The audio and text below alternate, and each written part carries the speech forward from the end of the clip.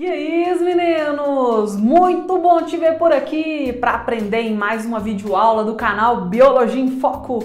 E hoje a gente vai continuar aulas de metabolismo, diferenciando duas reações que você comumente ouve falar, que é respiração versus fotossíntese. Então se liga nessa aula, clica aqui no joinha que nós vamos puxar a vinheta. Bora lá! Lembra que metabolismo é dividido em dois tipos de reações? Isso, a construção de moléculas, que é o anabolismo, e a quebra delas, que é o catabolismo. Então vamos falar sobre a reação da respiração. O que é respirar? Ah, professora, respirar é absorver o oxigênio e ele vai ser utilizado pelas nossas células. Mas de que forma isso acontece, menino? É isso que você tem que entender, porque a biologia é linda demais. O oxigênio, quando entra no corpo, ele vai ser um mediador para uma reação química muito maior que vai gerar produção de energia. Então, respirar é produzir energia, tá vendo? Quando você respira, você fica cada vez mais forte, cheio de ATP, que é a moedinha de energia da célula. Mas como que isso acontece?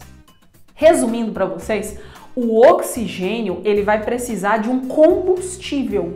Esse combustível é um alimento. Por exemplo, a glicose. Quando o oxigênio ele se une à glicose, ele vai participar de uma reação de quebra dessa molécula do alimento.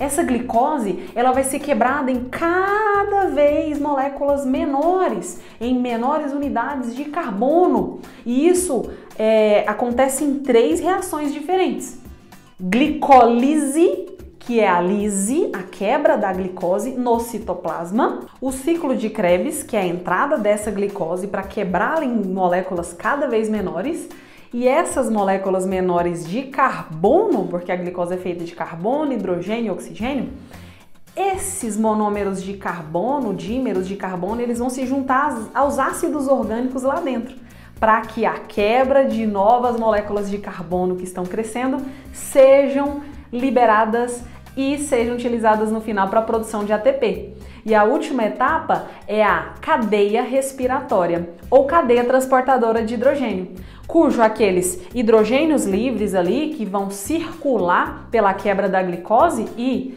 das moléculas que vão crescendo com os ácidos orgânicos lá no ciclo de Krebs, eles sejam capturados pelo NAD, pelo FAD e depois liberados na dupla membrana, porque a circulação deles vão ativar uma enzima chamada de ATP sintase. E essa ATP sintase, ó, vai girar para a produção de ATP, porque é uma enzima que produz essa energia celular.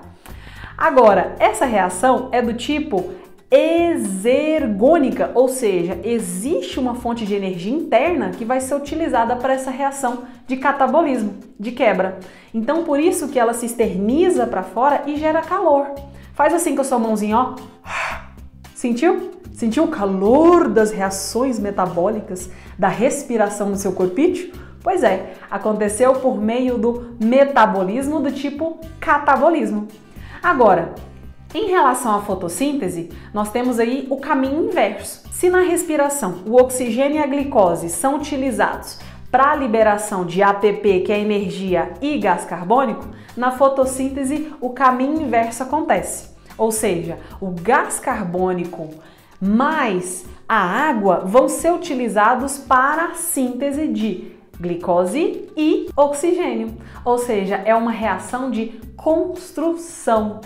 As moléculas de gás carbônico serão matéria-prima para a produção de glicose. Então são os pequenos bloquinhos que unidos a mais hidrogênios e oxigênios que vão acontecer lá no ciclo de Calvin por meio de uma enzima incrível chamada rubisco.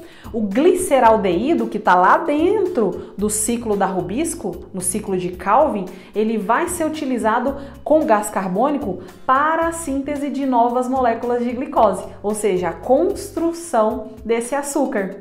E da mesma forma, é, a água será utilizada durante a sua quebra para que os hidrogênios sejam liberados e os captadores de hidrogênios hajam ali na síntese de energia, que é o ATP, vai haver também os oxigênios livres dessa água. E o oxigênio dessa água será utilizado para a síntese de oxigênio gasoso. Tá vendo? Que há uma troca e construção de moléculas, por isso a fotossíntese é chamada de anabolismo, ou seja, moléculas menores são utilizadas para a construção de moléculas maiores, utilizando uma fonte de energia externa. Por isso, fotossíntese é uma reação do tipo endergônica, manda energia para dentro, constrói-se moléculas na reação chamada anabolismo. Resumindo, na respiração você utiliza glicose e oxigênio para quebra em ATP, gás carbônico e água. Na fotossíntese, você tem um caminho inverso. A água e o gás carbônico são utilizados para a construção de glicose e oxigênio. Esclareceu aí na sua mente essas duas reações? Tá vendo? Não é complicado igual você imaginou.